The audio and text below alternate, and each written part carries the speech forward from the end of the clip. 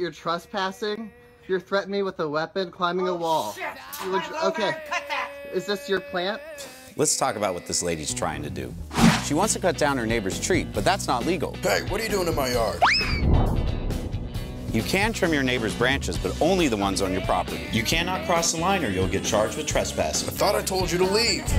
So if your neighbor breaks the law, file a report and repeat after this guy. Have a good day, ma'am. Oh, you son of a bitch! Yes, you too. Thank you.